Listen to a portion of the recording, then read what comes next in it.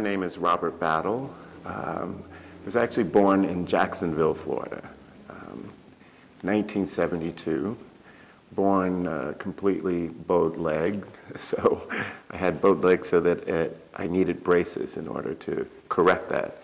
Um, and not knowing uh, whether I would walk or not, let alone dance.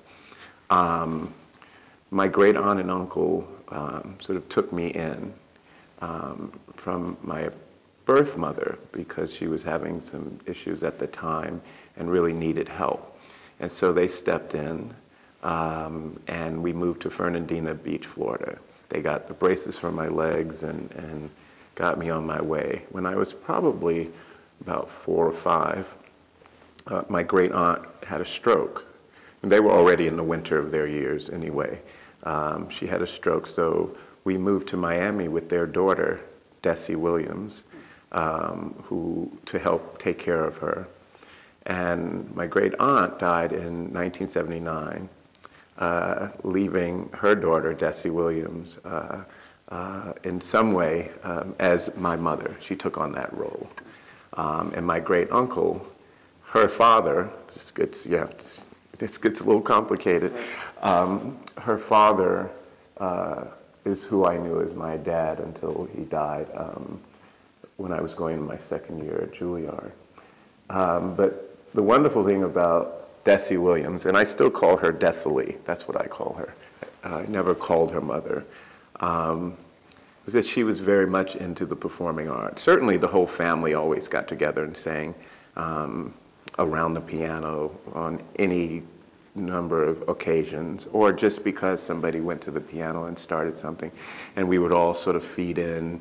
Um, and she played piano for the church. She uh, was an actress. She had a group called the Afro Americans. It was her and a few of her friends that did poetry and song uh, relating to the black experience. So I was surrounded by them rehearsing all of this wonderful poetry by Langston Hughes, Paul Laurence Dunbar, uh, Mari Evans, um, just stuff, uh, spirituals, uh, things that really uh, gave me a window into the history of African Americans in this country um, just by hearing the music and hearing the poetry. Um, she was an English teacher.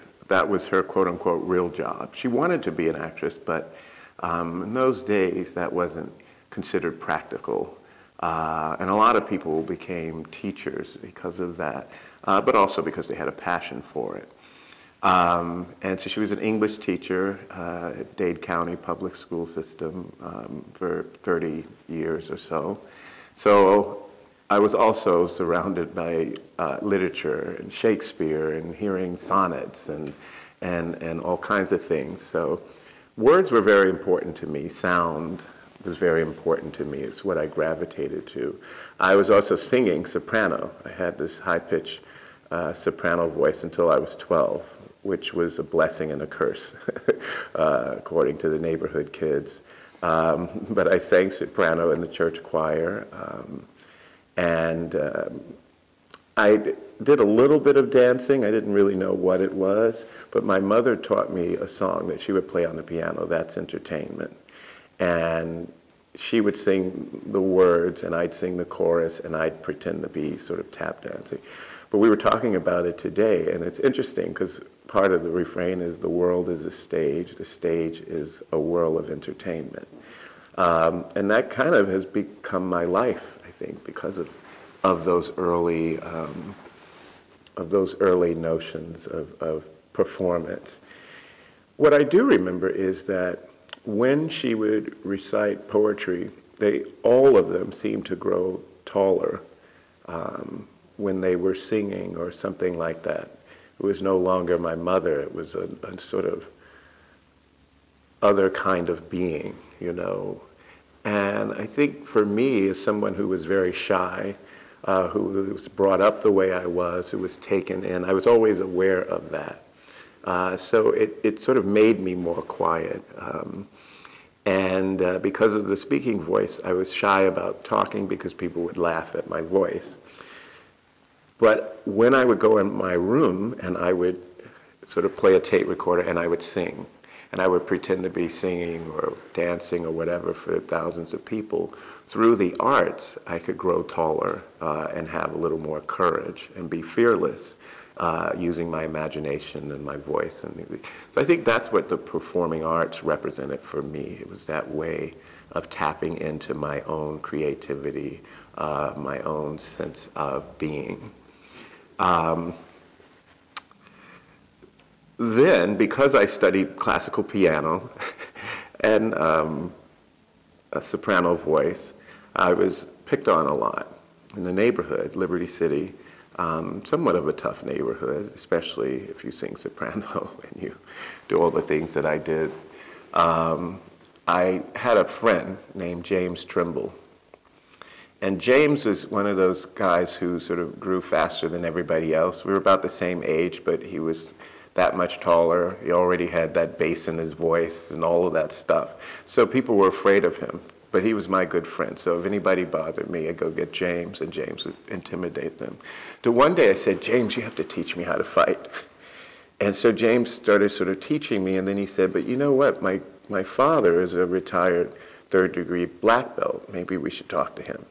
We did, and he agreed to train us. So in their tiny living room on a concrete floor, uh, we would do weightlifting and study martial arts with his dad. So much so that I was obsessed with it. Uh, anything I ever did, I sort of, if, if I loved it, I became obsessed. It wasn't enough to learn it, I had to become it.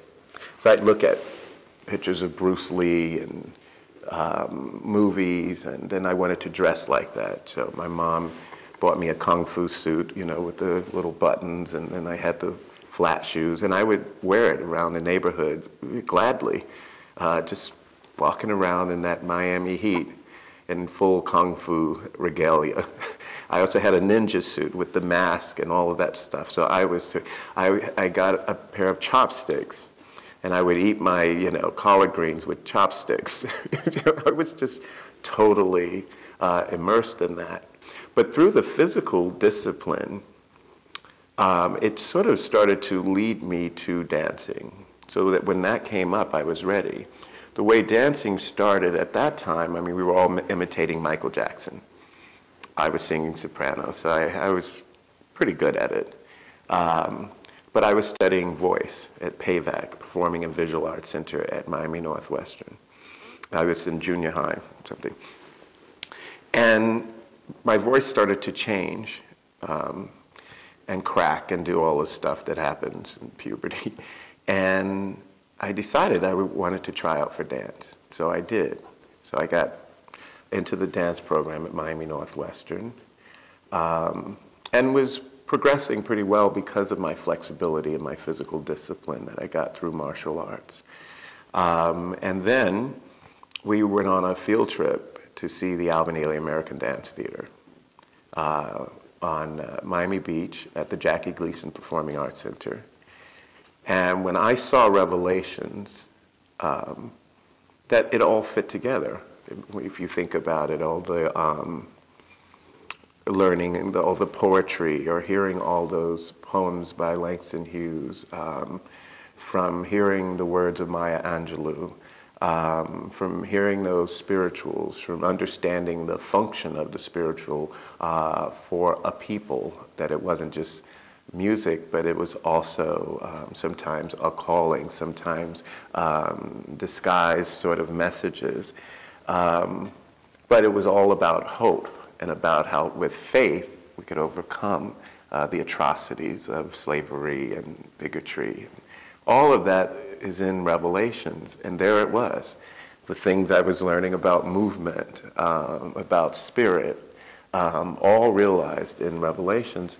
Uh, Alvin Ailey's uh, masterpiece he created in 1960.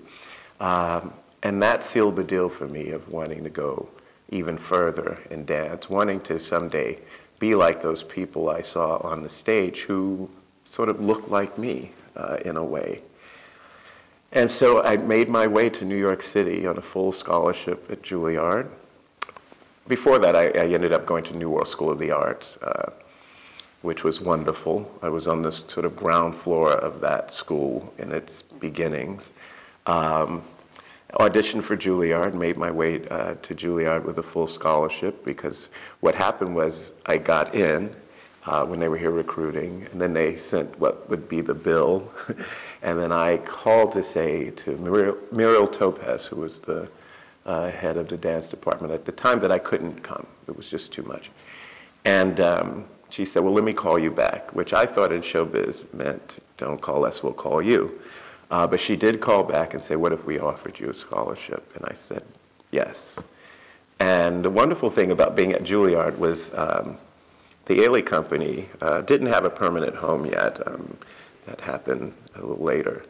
But they were rehearsing um, on, I believe, 61st Street uh, uh, near Amsterdam, and Juilliard was on 65th. So um, I could go over there, I could sort of peek. Um, in the summer, I would study um, in the summer program at Ailey. I would have what I call Judith Jamison sightings, you know, where, who didn't want to see Judith Jamison? And I would see her, and I remember calling home on the payphone uh, to say to my mother that I saw Judith Jamison. Me never knowing that someday she would choose me to succeed her.